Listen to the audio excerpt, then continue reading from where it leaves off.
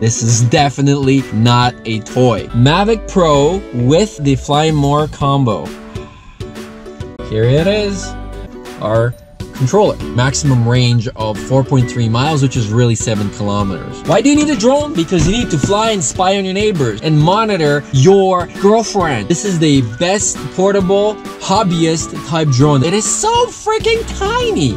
If you have the opportunity to buy the combo kit, please do because you get an awesome deal. The resolution on the camera is 4Ks. This guy is not waterproof. I can't wait to test this and create some awesome, awesome videos.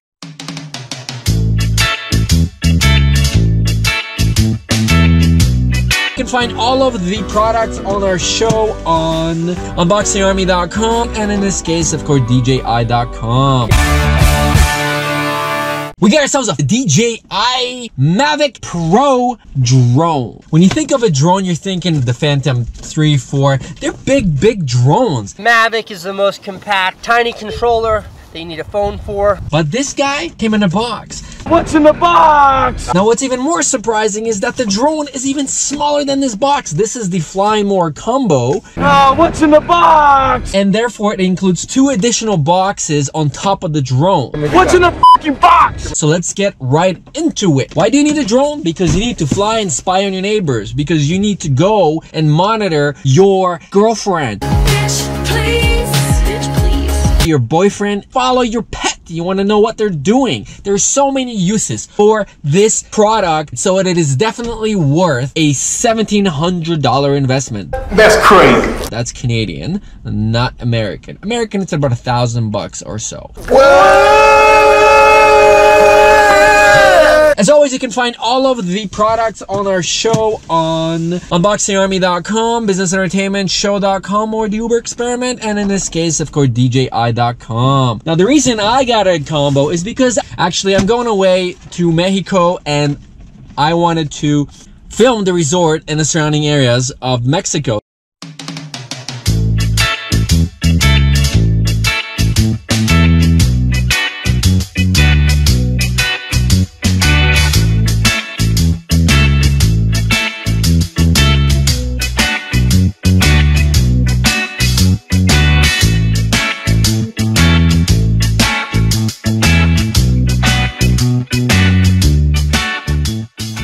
This is not a paid advertisement. This is my impression based on the fact that I need a drone, and this particular drone happened to be the best reviewed one on Amazon.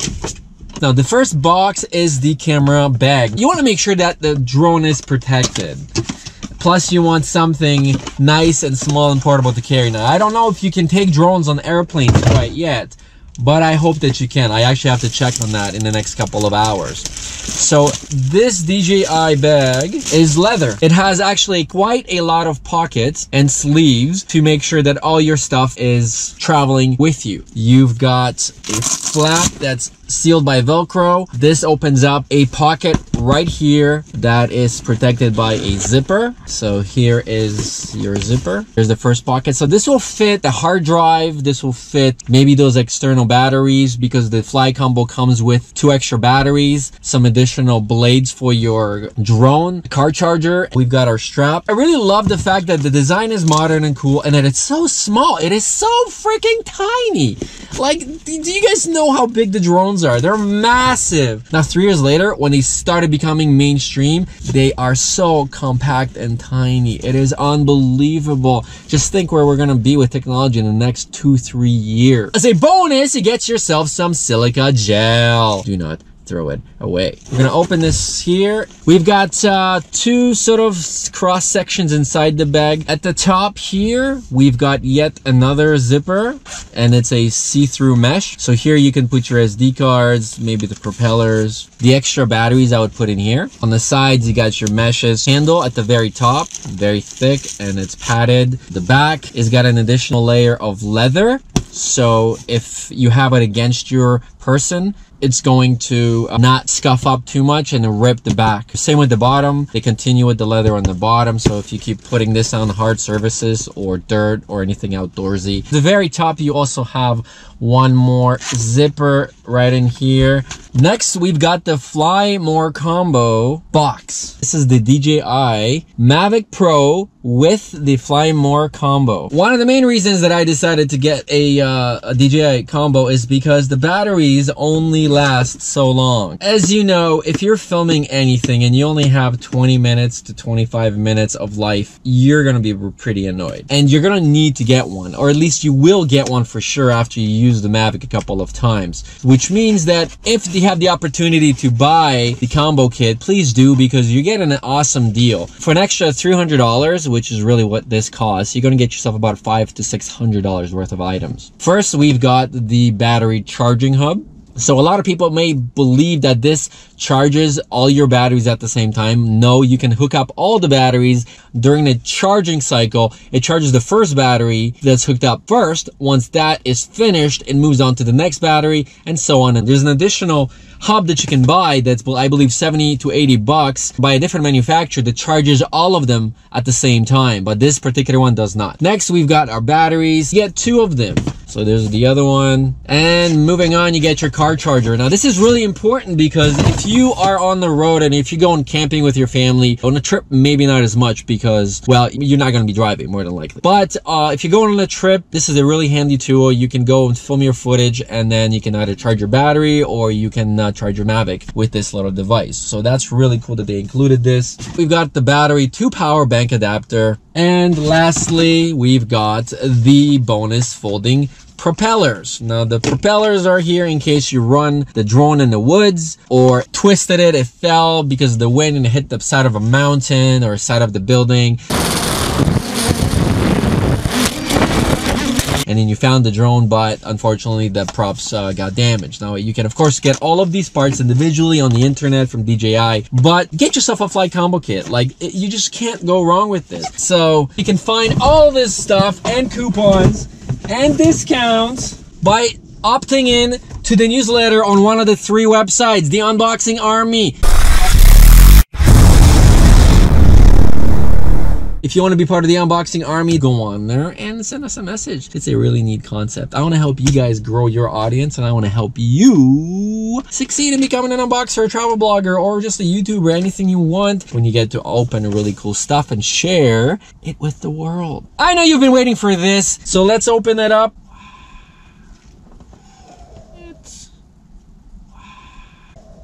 So here it is.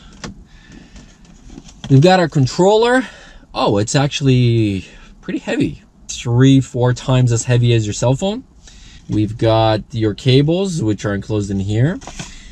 And then we've got our charging port, micro USB cable. And then we've got cable that connects your phone to the controller. We've got our manual. Inside the manual, you've got your DJI Care Refresh. So this is for your warranty card. So you have a QR code and it tells you exactly how to claim a service call if something happens to your drone, if you're under warranty. You've got your manual, battery guidelines, what's inside the box card, and we've got ourselves a quick start guide right here. Finally, underneath, we've got your adapters. We've got some protective padding, and then you've got your one prop and your second set of props.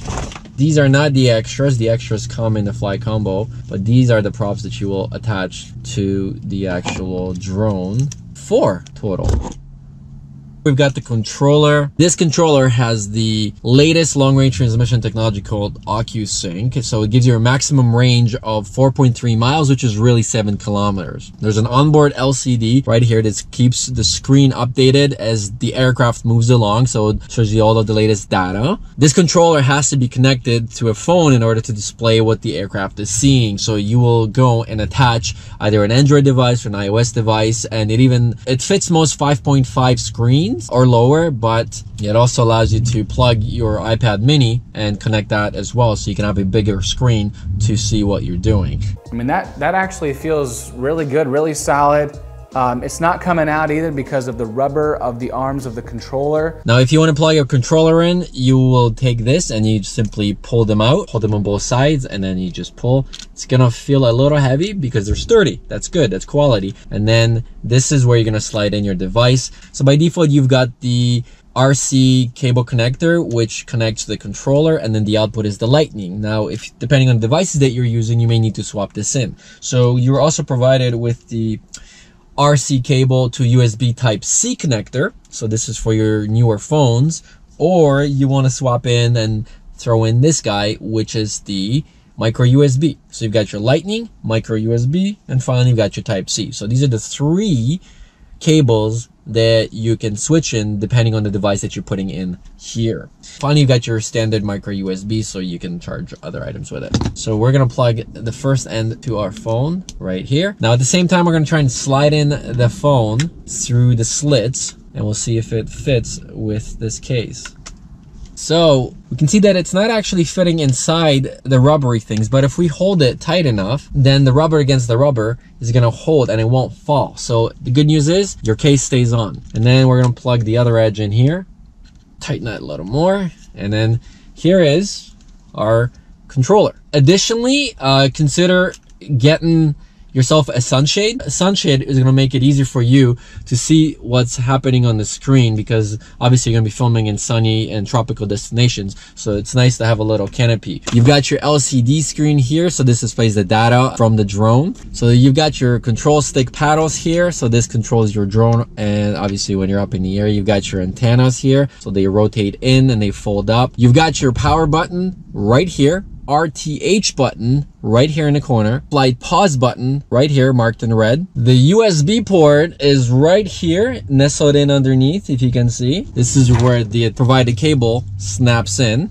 And finally six, you've got your flight mode switch which says sport right there on the side. On the top of the joystick controller, you're gonna find a uh, button with a red circle. So that is obviously your record button. So if you wanna activate the recording mode on the drone, you press this. And then here you've got your shutter button. So if you wanna take a screen grab of whatever the drone is seeing, you press this and takes a photo. The resolution on the camera is 4K. So yes, it's recording and capturing uh, at 4K resolution. It captures the pictures at 12 megapixels. However, when you're previewing it on the screen, the maximum output that it does, is gonna give you 1080p output on your screen, which is a Wi-Fi. So you don't necessarily have to be connected to the internet. It's just going to use its own Wi-Fi connection. If it's at a distance, because remember, it does travel quite far, up to seven kilometers, it's going to downgrade it to 720p. This here is the camera settings dial right above the shutter. And then this is the video settings dial that allows you to change in between different modes for the video camera on the drone gimbal itself. There's two additional buttons at the very bottom here, here, and here.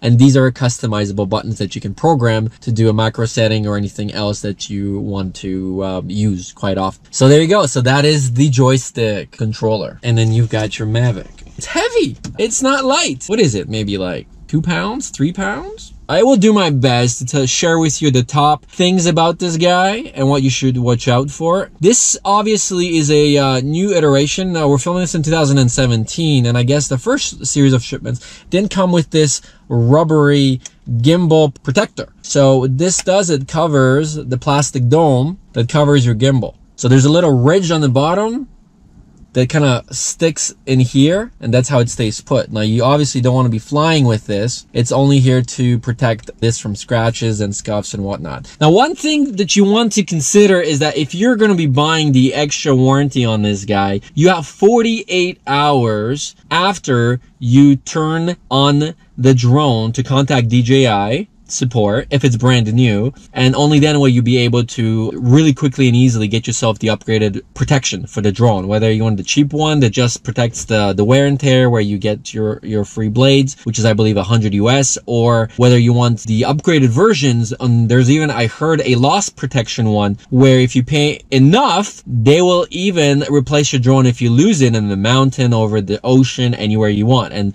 i will definitely be picking that warranty because my main purpose is to fly this over those types of areas. So a warranty definitely is something that I will be considering since this is a $1,500 toy. Disclaimer, this is definitely not a toy. This is the best portable hobbyist type drone that's currently available in the market. Of course, you can get bigger drones that will allow you to do much more and they're to be a lot more stable in the air. You can fly them further and higher, but it will not be this portable. You will not be able to carry this around. You're going to get a big giant backpack. You're going to get a big giant briefcase and it's going to limit you. This, this is so subtle. You can go on a vacation and then you can just pull it out, set it on a park. As long as you know how to fly correctly, you can take off and start filming immediately. 20, 30 minutes later, you're going to pack it in and then you go on to two other destinations because we've got the extra batteries. So between three batteries and this guy right here and a camera bag, you're to film three awesome destinations that will give you about an hour and a half of footage. Let's just say an hour and 10 minutes conservatively. And then you're to go home, unload the footage, then you plug in the charging batteries into the hub and it charges overnight. And the next day you're ready to go again. That's how simple and portable this is. Okay, so we're to go and open it up. The two propellers are here and then the other blades go on the very top over here. There's these little legs that clip in here. You can see there's three spots for them. So we're going to just line them up, hold on to the rotor, you press in, and then you clip and twist. And then that's going to lock those legs in place. Basically, you pull this out, you pull this out. It's starting to look like a little robot military type drone. And then you pull, you fold this down Okay, so don't be pulling out that way, all four. And there you go. So here it is in all its glory. The battery is on the top. To take the battery out, there's two buttons on each side of the battery compartment. Press it, and then the battery will basically just kind of slide out upwards this way. So you can see that it's almost like a cartridge. It snaps in. The battery life on this apparently it's claimed to be about 30 minutes, maybe even 22 minutes, depending on the settings. And the, the reason the battery life would vary is because the the drone itself, depending on where it is and how windy it is, is going to be adjusting for the winding conditions. So one motor could work harder or less or more or less. So all of that has a bearing on what happens to the battery. It's a uh, lithium battery. 3830 milliamps for this guy. So times that by three, you got yourself 10,000 milliamps. So yeah, it should last about an hour and a half. So to charge the battery, you grab portable charger and then you plug the battery in like so. Fly More combo does come with a uh, battery charging hub. We're to open this right now. So that allows you to plug all the batteries at the same time. And as I said earlier, it will not charge all of the batteries simultaneously. One's gonna finish, then the next one's gonna kick in. It's got four things to plug in. You plug it in like this, right? And then you plug in the rest in here. Wall charger, but you're gonna plug it into one device underneath here, right? In here. So you plug one in and then you charge up to four units. Very, very important that you have this. Or you can get yourself an additional hub that charges them all at the same time and that'll set you back another 70 bucks. An additional thing to note is that this guy is not waterproof. So let's fold this in now be careful when you're folding these because you do not accidentally want to bend these the wrong way and then just like rip them off. This here, some people have flown with it, I heard. So definitely protects your drone if it ever were to fall. You may get some sort of a feedback because this dome is off. So you may want to clean it if you're going to keep it on. Otherwise, this does clip in. So move the for drone forward and then grab it from underneath and then just kind of like press in and then unhinge it down pivot down. Once the dome is off, you're going to reveal that there's yet another piece of plastic holding the gimbal in place. So you do the same thing, you press it in, and then you slide it out. And this will release the gimbal. Obviously, you always want to travel with this thing on because it is a very fragile piece of equipment. And so make sure you always, always, as soon as your drone is down, grab this, stick it in place, lean it forward, press it in, here and now we're gonna bend it in and it clips in. So that's how you put the dome on. Now the reason you don't want to fly with this on is because there's going to be a lot of heat being generated up in the air no matter how windy it is. So if you go and you fly with this on, it may potentially damage the drone. Now I haven't heard anybody damaging the drone and I do know that the first iteration of these did not come with a slit. So there's no way for the air to escape. Make sure you always remember to plug this in Now let's see what fits in the bag. So we're gonna open this bag. We're gonna face facing in like this. That's obviously the most optimum way is you put the, the gimbal face down. And then it closes very nicely. Like our additional props we're gonna stick them back into the pouch. So let's put them in here. We're gonna take our battery. Well one is obviously going on the drone. The controller goes in here. There we go so now our controller, our drone, our props are in here. The zipper is in the front. One battery fits, so we can carry one extra battery, I suppose. Two batteries, which will fit. One battery in here, that makes it three. I guess for the SD card, USB sticks, you can stick them in here or in here. You will not be able to take your portable charger. We're gonna have to get a secondary bag. That's it. Tune in to my other videos. I'm gonna be posting a couple videos on like tips on what to do. Hopefully I won't lose this guy in Mexico. The next review is gonna be about how to start this thing after it's charged and what to do first. So this is my Mavic Pro review. Thank you to DJI for making such an incredible product and I can't wait to test this and create some awesome, awesome videos.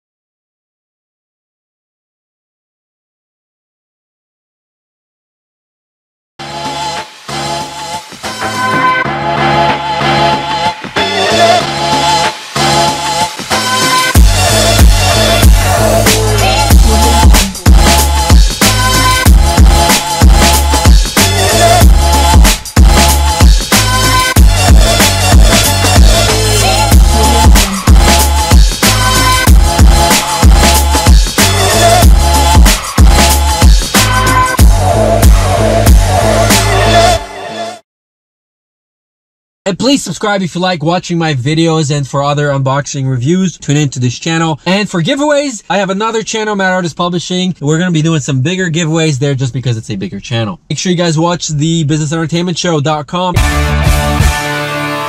That's where I teach you about how to really, really, truly live your dream and be passionate about what you do and making a living out of it. So thank you again. I'm Marcin. Out.